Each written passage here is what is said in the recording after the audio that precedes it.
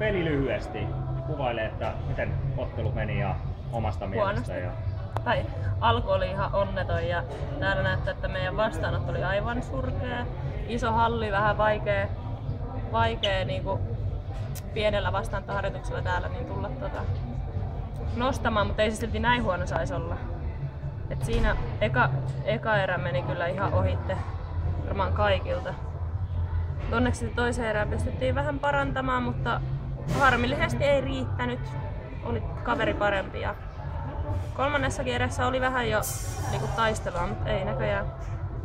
Ei kelvannut. Joo, kiitos.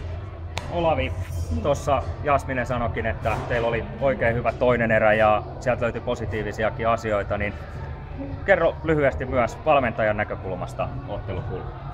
No kyllä se tuossa Jassun puheessa tuli esille, että se, se aikaisemminkin esiin tullut kulmakivipelissä, eli vastaanotto ei kyllä, ei kyllä lähtenyt alussa millään käyntiin. Ja se ensimmäinen erä nyt oli sitten sitä harjoittelua. No toisessa sitten rupesi vähän paranemaan ja tota, niin sitten saatiin pelistä ihan mukavastikin kiinni.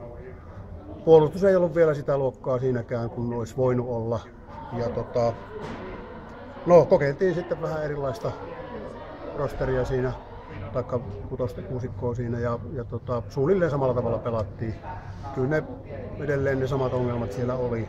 Et kyllä me kun saatiin passarille hyvin paljon, niin pärjättiin oikeinkin hyvin. Mutta se oli nyt niin paljon huonompaa kuin vastustajalla, että ei se, ei se nyt noin kovaa vastustajaa vastaan riittänyt. Selvä. Kiitos teille, niin päästetään teidät tästä kukukoppiin ja kotimaan. Joo.